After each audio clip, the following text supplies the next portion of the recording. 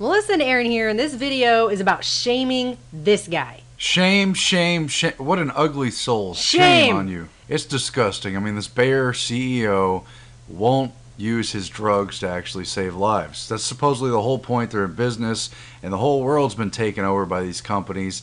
They've displaced real medicine. They've ignored the side effects, swept them under the rug, and told you it's safe to take vaccines and their pills, and look what they do with it. Yeah, check this out. This guy, Dekkers here, was quoted in Bloomberg Business Week for saying that his new cancer drug at his company Nexavar isn't, quote, for Indians, but, quote, for Western patients who can afford it. Apparently, this drug is for late stage kidney and liver cancer, and it costs $69,000 a year in India so that in March 2012, the Indian court actually granted a license to an Indian company to produce the drug at a 97% discount because, oh, I don't know, I guess they were thinking they might actually try and get the drug to the people that needed it so that someone could actually afford to take it and have their life actually saved by it, if it even does that.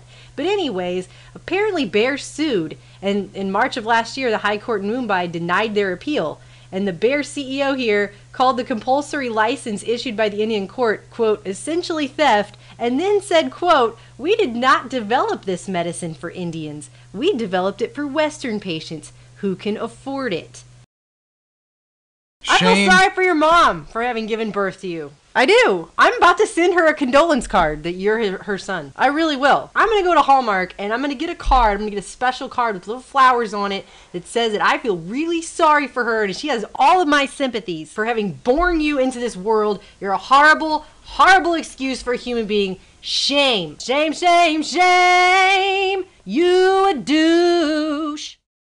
These people are disgusting. You think that's a bad thing to say? Apparently, it costs $96,000 a year here in the United States, but Bayer assures their, quote, Western patients that they have access to the drug for a $100 copay. In other words, they're going to dump the cost out on the diffused insurance market. Can you believe he said that stuff out loud? I can because they've done this kind of shameful stuff in other cases. Remember when Gore was running for president and it turned out some of his campaign contributors had developed an AIDS drug that they refused to let South Africans have for a discount price because so many of them are poor? Oh, and they actually have AIDS, the vast mean- majority of the AIDS cases of the world, but they wouldn't allow them access to the drug at the discounted, non copyrighted price. So it's kind of like, why don't you just die because you're not rich enough? I mean, why even make a drug if it's not going to go to the people that are actually have the disease that it's supposed to help with? But Bayer, if you remember, has all kinds of ties to the Nazis. Bayer was literally part of IG Farben, which literally translates to the syndicate, aka the cartel. It was the largest syndicate cartel of chemical and pharmaceutical companies in the world, and they did use slave labor, and they produced Zyklon B, and they had all kinds of really nasty business practices. Prince Bernhard of the Bilderberg Group was a member, and after the war, IG Farben broke up, and Bayer and BASF and the other companies continued to do business. Here they are today. But look, they apologized. They said they're sorry. They're sorry that they did that. Hey, everybody, isn't it good to know that your kids' Flintstone vitamins come from the same company that helped make Zyklon B gas? I wonder if they're also sorry for in the 1980s knowingly shipping out AIDS tainted uh, factor 8 hemophiliac drugs to the developing world after they couldn't sell it in the Western world. And the FDA approved it.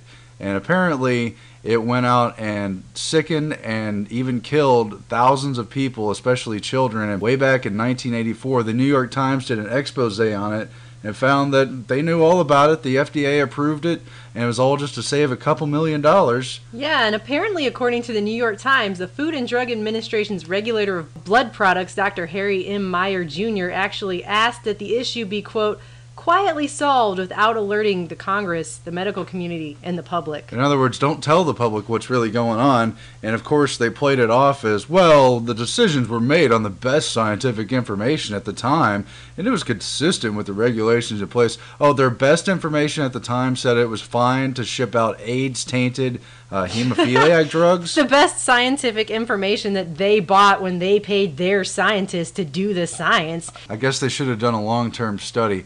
Just this is a whole track record of shame and shame on us too for letting these pharmaceutical companies take power for trusting them for popping their pills for diseases that we could probably avoid through better nutrition look at what is produced by trusting these kind of bags these kind of disgusting human beings who would make these kind of statements that they don't produce drugs for poor people I mean, don't you want to give your whole paycheck to this guy?